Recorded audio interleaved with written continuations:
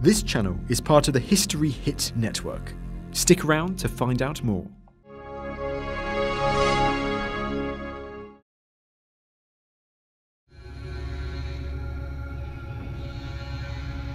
We are the first peoples of the Americas. We have been here from the beginning.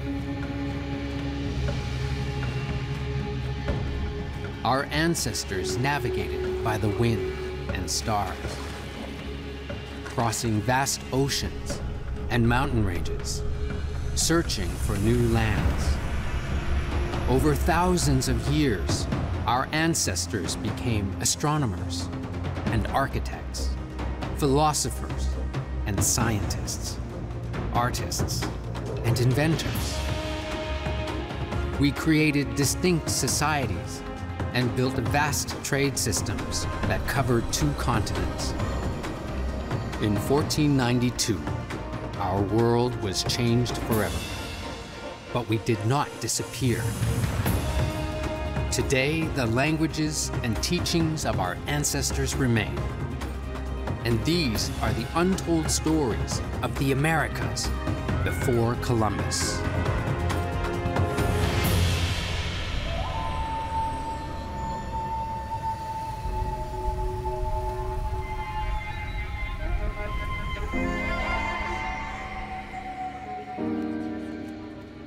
The architectural styles of our ancestors reflected the diverse natural environments of the Americas and the social and cultural needs of each nation. Ice houses in the Arctic, adobe apartment buildings in the Southwest, and hide teepees on the plains are unique designs that have endured for thousands of years our architectural accomplishments are not limited to houses. Throughout the Americas, large cities featured temples, central plazas, markets, and ball courts. Over the millennia, indigenous architecture adapted to changes in the environment, innovations in technology, and a growing population. Indigenous people have lived in southwestern North America for more than 12,000 years. Early Pueblo people lived in underground pit houses constructed from wood and mud. With the natural insulation of the earth, these houses were cool in the summer and warm in the winter. Around 2,000 years ago, the ancestral Pueblo began to cultivate maize, beans, and squash. Farming led to a more settled way of life and eventually to the growth of villages and towns. Here in the Southwest, this uh, tradition, if you will, of communal building uh, was very well developed. So that community sense, that community spirit, certainly was the essential way you survived. It was through the community and through participation in community work. giờ đây na thứ ba mau mà chú họ Yo to ina tupa maua mo. You walk by a a kento. Go in the maua. Ma nom ki te nai ki tu a mo. Ai khni ma tau en sai nai ki ma tupa ai no a mo. Ai sen nam kina pi a sai to. Sai kina tupa ai no a mo. Nim u se sena. Nim u kina pi ai sen pa men bo.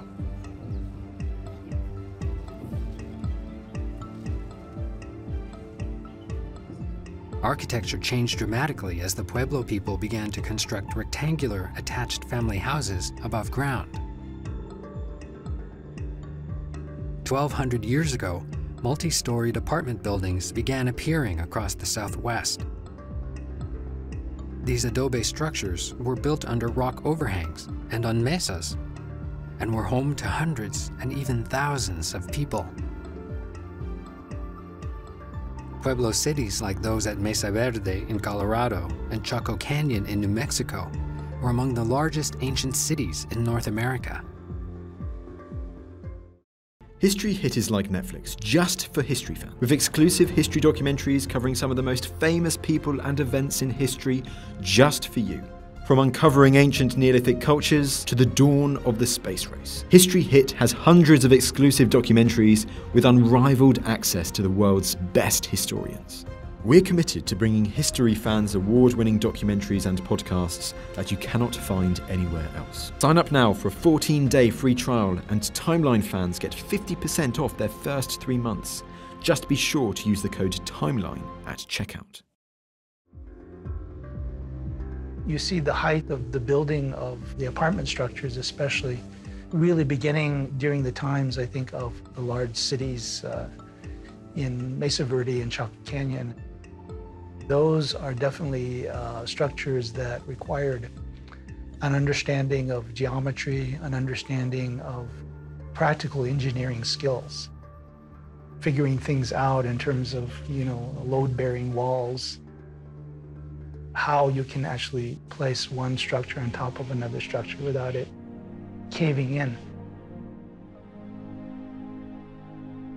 Those are, are technical feats which have some central architects, you know, that are guiding the way the, the structure should be built. But the knowledge of how to do that is actually held collectively because everyone participated, you see, in building these structures the individual is like one strand of a much larger web of relationship. Yuhi kukana na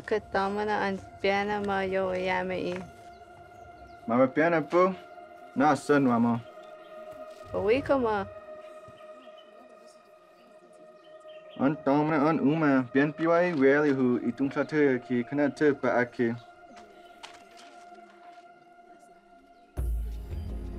patuba welihu. Iati pena kana kaya.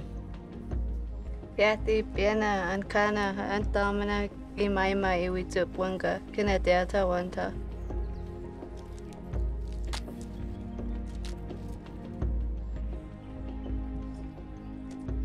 Hat ana pana ma kai a maho.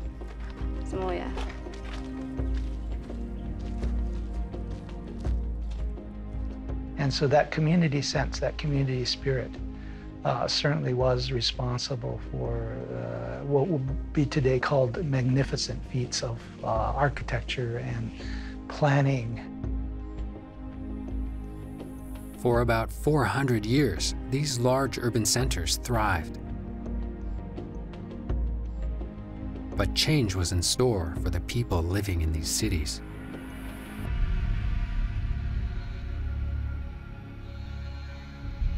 We know that there was climate change, you know, that affected and impacted the people.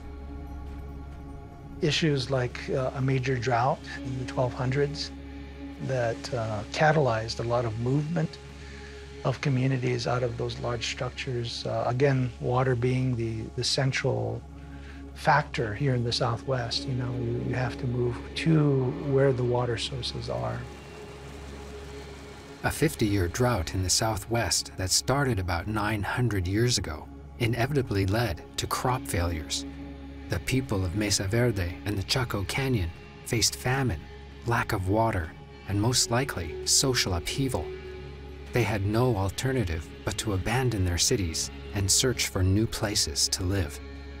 Some people moved south and established new towns along rivers like the Rio Grande. Others joined smaller Pueblo communities in different parts of the Southwest. With new people moving into these towns, the demand for housing increased. Migration out of the major cities did not mean that Pueblo society disappeared, it simply changed.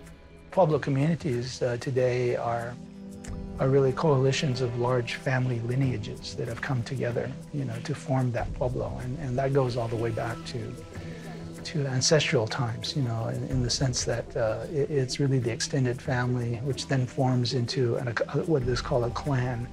And then the clans come together to, you know, almost through a confederation, create a uh, particular pueblo.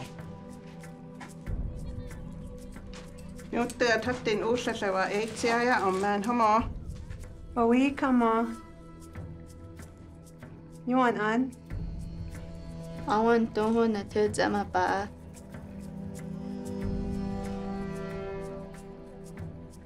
Ion te ta hili no sai wa kai u se sana.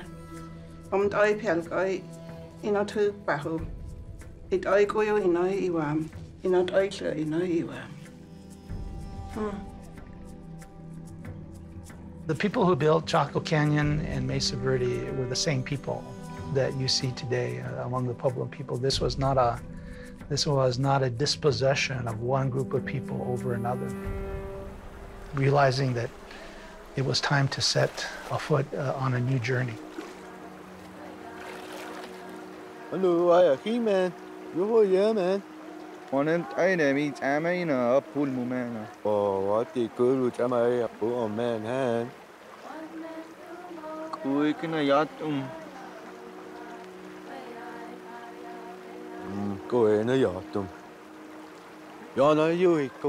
câm mà. Thì vui nó trừ này nó hai mẹ mò. People were able to come together in a variety of different kinds of communal ways to do community work. The physical building of community was an integral part of indigenous life. Multi story apartment buildings and towering pyramids were not the only architectural accomplishments of indigenous peoples. About a thousand years ago, a vast road system connected millions of people in South America. Originally constructed by the Wari Society, this ancient highway was expanded by the Inca. It is the roads of the ancient Peruvians, uh, of those who came before the Inca, uh, who began building road segments that extended, you know, the ability uh, for communities uh, to send troops, uh, trade, uh, engage in ritual and ceremonial activities. All along the Andes, you had these systems that the Inca built upon. One of the things about the Inca Empire, and it truly was an empire, they extended these throughout the span of the Andes. The Inca designed their highway system to connect the people living in the four regions of their empire. The 40,000 kilometer Great Inca Road connected hundreds of cities and villages through a wide range of ecosystems and terrains. These roads extend all the way from Ecuador, all the way down into Argentina. Their empire extended in length some 2,000 miles from north to south. The Inca Road was essential for the transportation of goods and information, as well as the movement of armies. What the Inca had devised was a system whereby they could supply armies or communities from a distance. In order to maintain their over 24,000 miles of roads, they used pre-existing road systems and then they taxed people to maintain their portion of the road system. This grew in tandem with uh, conquest and population growth. Everybody was involved in the maintenance and construction of these road systems. The engineers who designed the Inca Road were faced with a range of natural obstacles, including steep mountains, rivers, deserts, and wide gorges. We are looking at a region that is highly mountainous, very fractured, part of what we call the neovolcanic axis.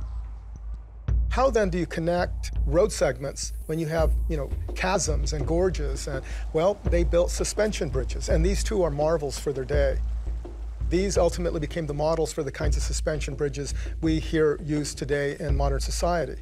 They were able to span entire gorges, build durable rope bridges, sometimes extending all the way to the top of mountains in the region, uh, some 16,000 feet in elevation. They could run a road right through the desert uh, with shifting sands. And they did this by virtue of building low walls on each side that allowed for those to bank away the sand and allow the road to remain clear. This is a, a massive system. Besides being an impressive feat of engineering, the Great Inca Road served the political, social, and economic needs of the Inca rulers. This vast highway system was instrumental in creating one of the largest empires in the world before 1491.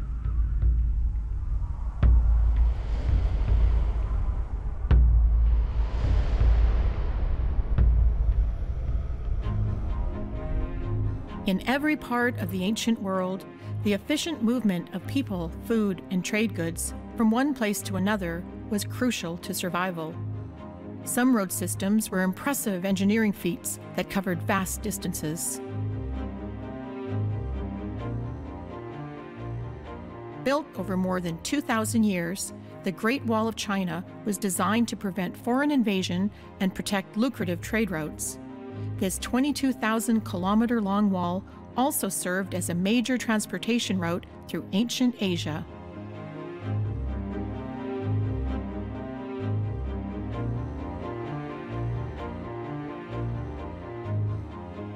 During the 700 year reign of the Roman Republic and Empire, more than 80,000 kilometers of stone paved highways were built throughout Europe. Without this vast road system, the Romans would not have succeeded in conquering and controlling most of Europe and the Mediterranean basin.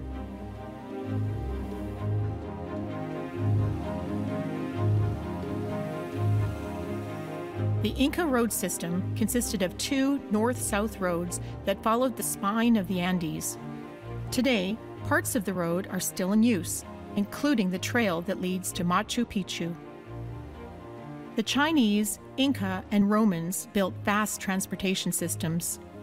These architectural marvels allowed them to conquer cultures by controlling the movement of armies, food, and trade goods throughout their empires. Long before the Inca Empire rose to power in South America, the people of the Norte Chico region in northern Peru designed and built one of the earliest known urban centers in the Americas. Carbon dating has confirmed that buildings in the region, including those in the city of Caral, are at least 5,500 years old. Todo el Perú, toda América estaba habitada. pero es en el área norcentral del Perú donde se forma esta civilización con un desarrollo precoz.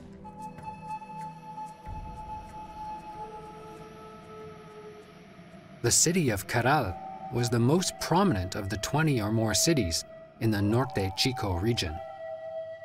It featured pyramids, sunken circular plazas, platform mounds, and residential neighborhoods.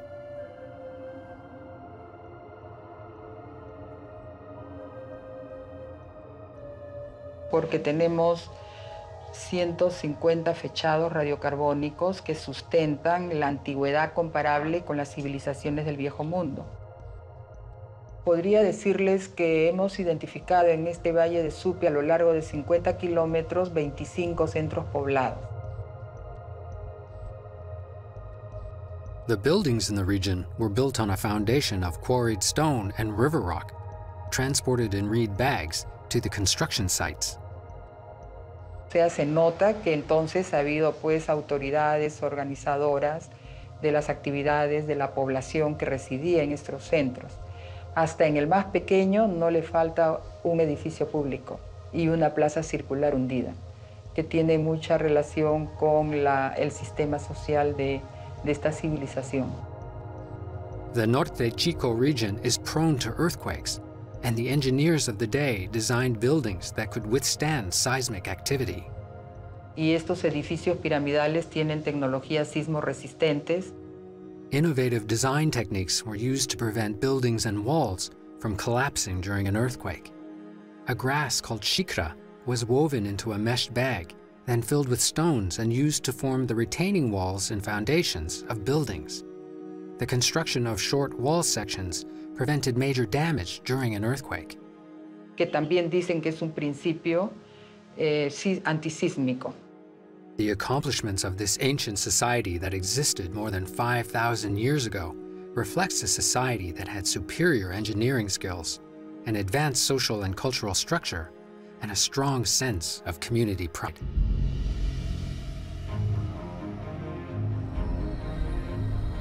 In the high Arctic region of North America, indigenous people had to adapt to the extreme weather conditions that existed most of the year. Hide tents were used for summer homes, and in the winter, whale bones, sod, hides, and snow were the building materials commonly used for housing. The engineering, you know, that goes into an igloo, it's built in a dome shape, of course, but that's not the most amazing thing. The entrance way down low traps heat inside the igloo. Because heat rises, you sleep about halfway up the dome, and that's the, you know, one of the warmest places. Snow houses, or igloos, were used for both hunting expeditions and as semi-permanent winter homes. Sleeping areas and storage spaces were placed near the wall, and the central area was a communal space for cooking and daytime activities. When you build an igloo, you test the snow to make sure it's, it's even all the way down because where the layers are, the blocks will break. Usually you find a place with snow on a slant. You start at the top of the slope and trim your blocks like into a wedge shape. You trim your blocks so that it goes up in a spiral until you get to the top and you lean them in, you know, so you make a nice dome. You stick the last piece up through the hole and you trim it uh, so that it fits right in the hole and you just let it drop and then you're done. If you build your igloo that way, it will not fall down. You can actually climb up on top and it won't fall down. It would be nice, you know, if somebody could find the original igloo. But of course, you know, snow melts every spring and The extreme weather conditions and scarcity of building materials in the Arctic region led the Inuit people and their ancestors to develop innovative housing designs that were used for thousands of years.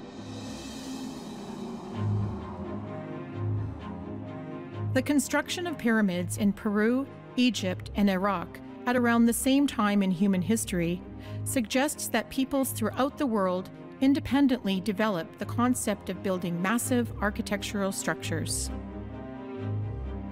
The Giza pyramids were built from limestone blocks that weighed from 2 to 15 tons each.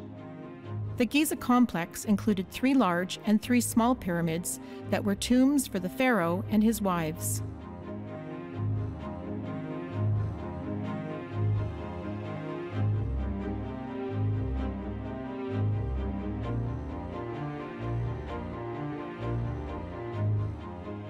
The ziggurat of Ur was a massive step pyramid that measured 64 meters in length and close to 30 meters in height. All that remains today is the foundation. It's believed that the pyramid was part of a temple complex and a shrine to the moon god Nanna.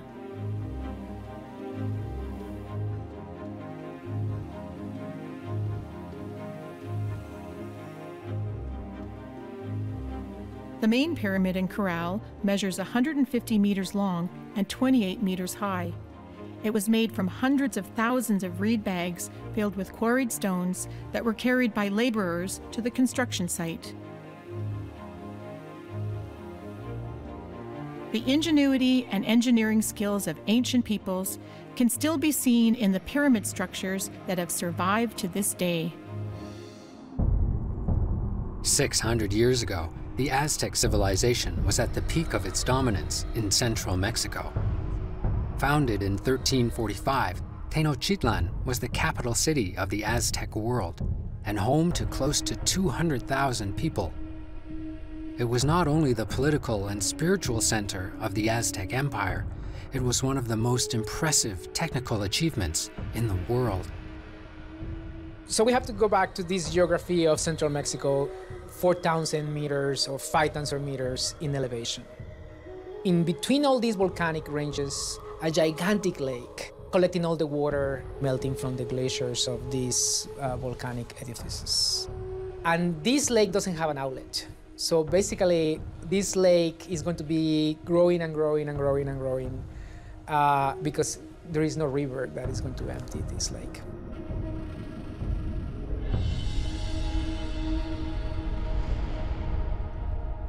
One of the big achievements of the Aztecs is going to be the modification of tiny silt islands into a gigantic artificial island of 13 square kilometers and an unknown volume of cubic meters of dirt that had to be brought from the shores of the lake artificially to create that massive island.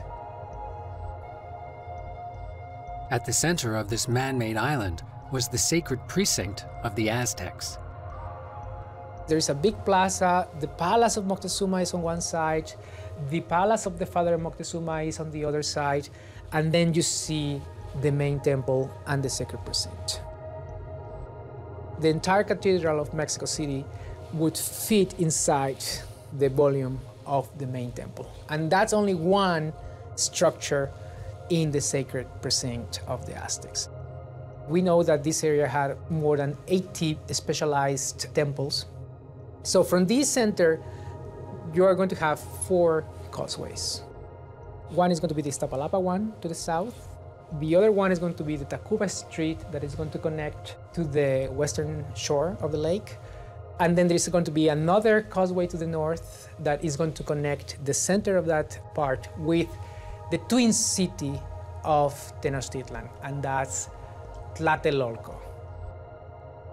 We don't have to pay attention to the pyramids. The pyramids were small elements. It's the volume of building an artificial city in an island. Outside of the sacred precinct was a vibrant city where residents traded and bartered in a large central marketplace for flowers, fabric, jade, spices, chocolate, and everyday goods. Along the side streets were workshops where artisans specialized in metal, jade, and fabrics.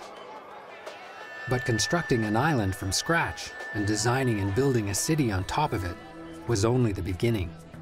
There had to be infrastructure built to grow food for Tenochtitlan's large population. And then began to play with the levels of the lake. They had to create a system of dikes to basically regulate the flow of water in the lake, prevent the brackish water to enter the area, and also delay the movement of the fresh water that is coming down from the rivers in the mountain. So the, the dikes basically change the ecology of, of the lake completely. These dikes, levees, and causeways divided the waters around Tenochtitlan into large freshwater ponds some of which were used for fish farms. Along the shallow lake beds, crops were grown in man-made fields called chinampas. But if, even if you are not cultivating for producing food, you are cultivating to create these magnificent gardens, beautiful gardens. Then when we have that context, we have to go back to the first Europeans arriving to this and climbing this pass between the volcanoes. And then at, at one point, when they are in this high point, for the first time, they look at the lake. They see these 40 cities around the, the lake, and in the middle of the lake, one gigantic island. An island that is artificial. We need to be reaffirming this. That island is not natural. That island is completely man-made. It's the product of the Aztec Empire. Seeing the architectural deeds of the Aztecs, they said, this is another Venice. Tenochtitlan, basically, that was the comparison. It's like, this is another Venice. Tenochtitlan was not only the ceremonial, economic, and political heart of the Aztec Empire, it was among the most impressive engineering feats in the world. The Incas had a larger empire than the Aztecs. The Aztecs had a more dynamic demographic empire, and Tenochtitlan became the largest city, indigenous city, ever created by the indigenous people.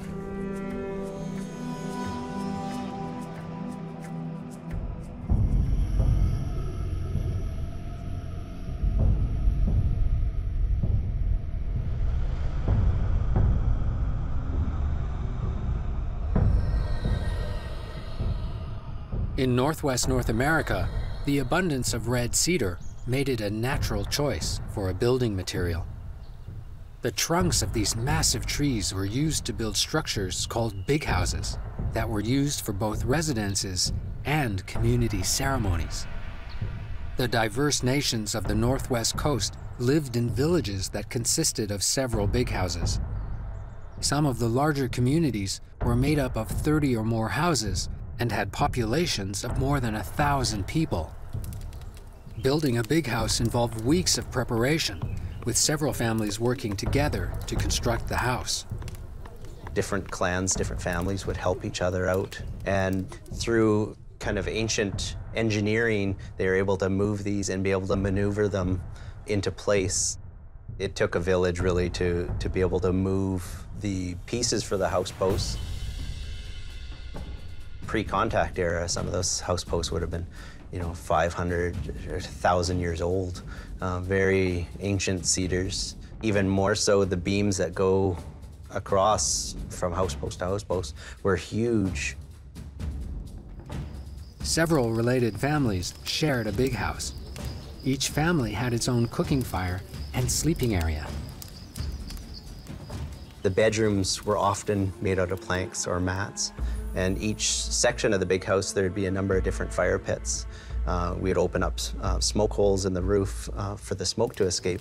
But when we wanted to hold a winter ceremonial, we'd clear out all of the bedrooms out of the big house, and we would light one central fire. And for us, when we light a fire in our ceremonies, it's a way to connect to our ancestors. It's like a conduit right to the spirit world through the smoke that, that rises up through the smoke hole. So we, we light one fire in the big house and invite other tribes to um, come inside of that big house and, and to witness our dances and listen to the songs that belong to that family or clan. Inside of a big house, in our territory, we usually have uh, four house posts, and all four of those house posts are carved, and they relate generally to the origin story of the family that lives in that big house. And that's the purpose of our house posts, is to remind us of, of where we come from. When you'd wake up in the morning, you'd look up at your, your house post and, and realize that, you know, where you come from. And where you come from means so much to us. It's literally the structure you're living in if you can imagine being able to look, look at your origin and realize that your whole ancestry is, is holding up your house. The cedar beams and posts that form the frames of the big houses were permanent, but the wall planks could be removed and transported to summer village sites. For our people, planks were very important possessions. There was methods in order to take planks off of living trees and still have the tree survive. So today you can find culturally modified trees that have had planks removed in, in even pre-contact time. The temperate climate and abundance of food in the Pacific Northwest led to the establishment of many permanent village sites. As a result, the Big House was the primary housing structure in the region for thousands of years. Today, big houses are still used for potlatches and other ceremonies by indigenous communities throughout the Pacific Northwest.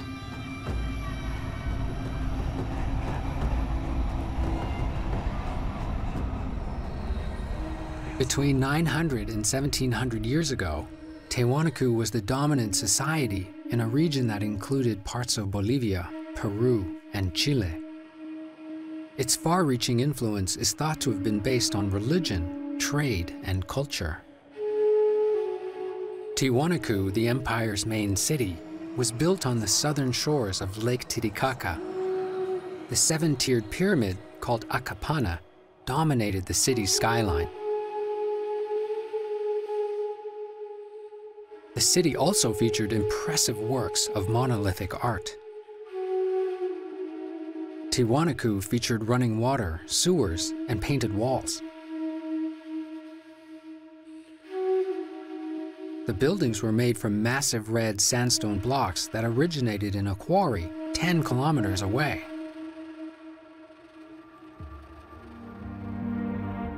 One theory is that the stones were transported on reed boats across Lake Titicaca.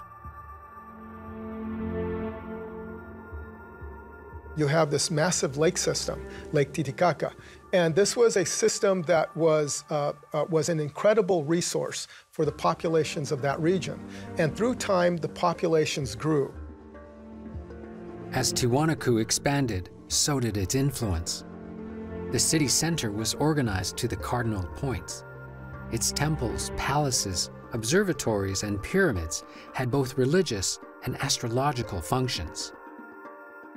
It was a place where people were prompted, and I believe by virtue of the ancestors, that spread its influence and set the basis for the, the principal cult of the Andes, where mountains were sacred and sacrifice was key.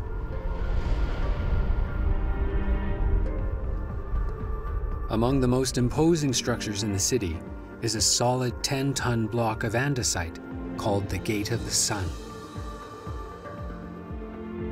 These massive gates, the tenoned heads, the, the moats around the city, the waterborne causeways, uh, the, uh, the various structures like, like the Kalasasaya, uh, all of these were structures that clearly are devoted to ceremonial uh, edification of the elites. So the elites in this ancient city clearly stood apart from the commoners in the city.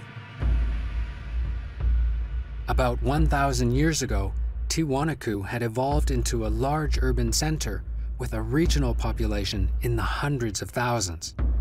At the same time, further to the north in Peru, the Wari civilization was expanding its power base through military conquest. And Wari, as it grew, was a juggernaut. It engaged in conquest and conflict interaction, and we have a lot of evidence for it uh, in the archaeology of the Andean region and along the coastal margins where they dominated. So you have these two juggernauts of civilization, both of them expanding into imperial status. They were no longer kingdoms. In order to assert themselves and to build their places of prominence and their sacred civic enclosures, they began carving massive blocks of stone, like the Gateway of the Sun, with what some have identified as the staff god, or Viracocha to others, this deity that kind of was an overlord, a creator being.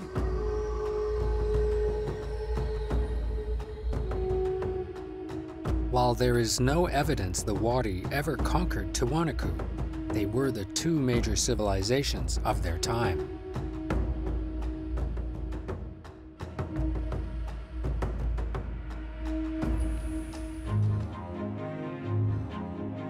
For thousands of years, ancient peoples carved massive stone sculptures and transported them across vast distances. The engineering expertise, tool technology, and artistic skills came together to create these impressive public monuments. Stonehenge is made up of a hundred stone monuments placed in a circular pattern. Stonehenge is made up of sandstone slabs transported from nearby quarries and bluestone slabs from Wales, a distance of more than 200 kilometers.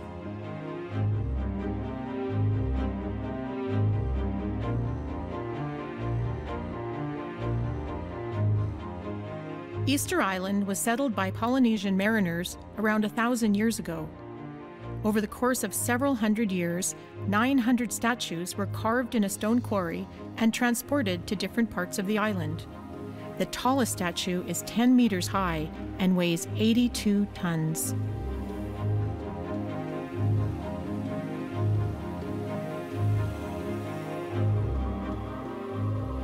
The Gate of the Sun is a solid stone monument constructed by the ancient Tiwanaku peoples. Carvings on the stone depict human faces, condor heads, and a central staffed man.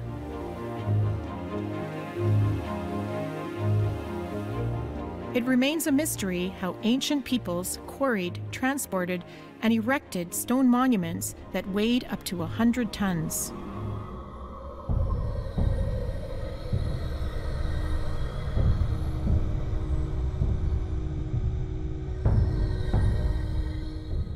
The indigenous large game hunters of North America faced one significant challenge above all others. Elk, buffalo, and caribou migrate constantly in search of food. To survive, hunters and their families had to follow the migration of these animals, sometimes hundreds of kilometers every year, across the central plains or the subarctic regions. This nomadic lifestyle created a dilemma. If housing was permanent, it couldn't be packed up and taken with them each time the herds moved on. But if it was too lightweight, it wouldn't protect them from the cold winters on the plains. The solution was the teepee. The word teepees uh, would be considered a southern word. Uh, that's from the Dakota language, which is a teepee, which means a gathering place for people. The teepee is a conical structure made up of multiple poles covered by animal hide or birch bark. These portable houses were relatively easy to put up, take down, and transport from one encampment to the next. The earliest forms of teepees were made from tree bark with wood frames. The teepee would have been more like a sweat lodge in its uh, very ancient origins, which could be as far back as 10,000 years ago. So it would have been a small bent wood frame, uh, and it wouldn't have had a, a, fire in it traditionally. They would have used rocks uh, to heat it and done the cooking outside. That would have been mostly bark uh, covering, and uh, those benders would have been willow, black spruce, possibly uh, younger lodgepole pine as well.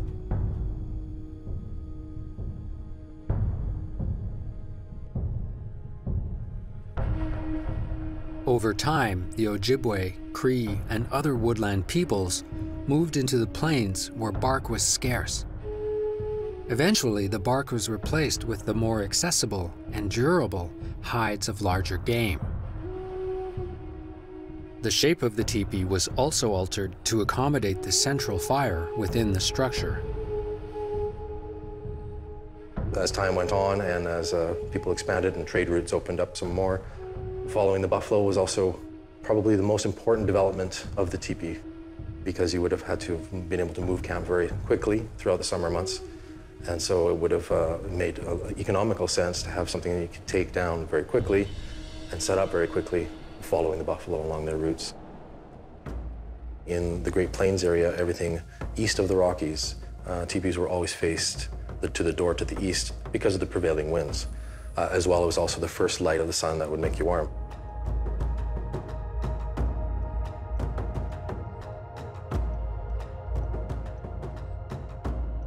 In historic times, the teepee was the primary possession of the woman. And it was almost exclusively the women's responsibility to pack up the teepee and properly put it together for transportation. Women were primarily the manufacturers of the hide, and the builders of the teepees.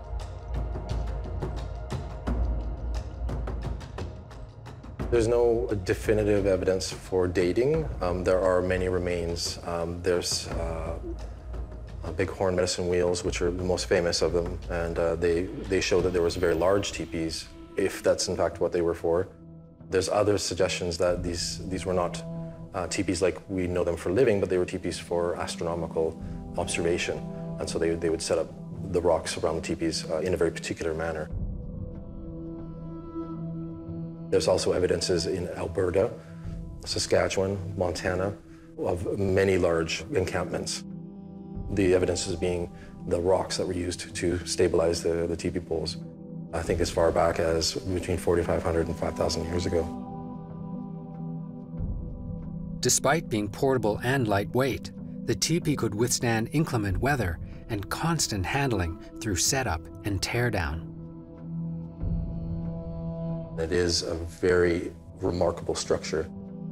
First of all, as a circle goes, that is always one of the strongest structures uh, there is to build with. This is shown time and again in, throughout the world with uh, other similar structures that are using the circle as well. So uh, in the case of storms, in the case of uh, uh, any sort of inclement uh, environment or weather, the circle is the strongest. As far as teepee goes in architecture, its uh, portability is remarkable. Um, it's incredible to, to see how fast a home is made with a few poles and, and a cover. Um, I mean, a lot of people say, well, it's just a tent, and it's not just a tent. This is a possibly technology that is thousands and thousands of years old, and it hasn't been advanced on. It doesn't need to be. It's perfect the way it is.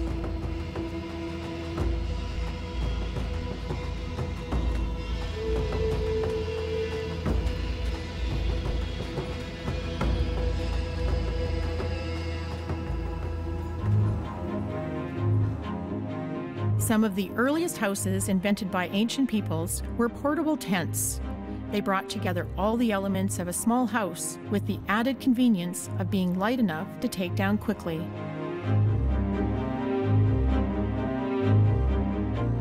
The yurt is associated with nomadic horse-riding Mongolian tribes who lived on the steppes of Central Asia. These portable homes are made from an expanding circular wood frame and covered with animal skins or felt made from sheep's wool. A yurt can be dismantled and rebuilt in a few hours.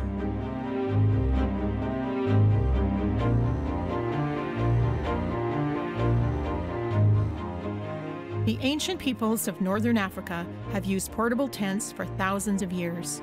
A family would have a smaller tent, while a tribal leader would have a more impressive dwelling measuring 20 meters or more long.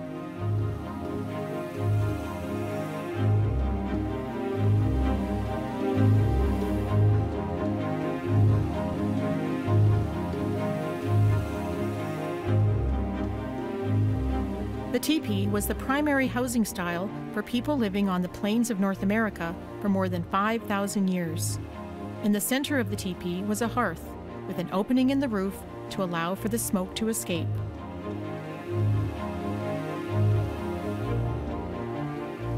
The functionality of the Arabian tent, yurt, and teepee were so advanced that they are still in use today. Ancient architecture is a window into the cultural worlds that existed in the Americas before 1491. From the tundra of the high Arctic, to the slopes of the Andean Mountains, to the jungles of Central America, indigenous people created unique housing from ice, wood, stone, adobe, and hides. The villages and cities they designed and built were powerful expressions of the innovative spirit of our ancestors.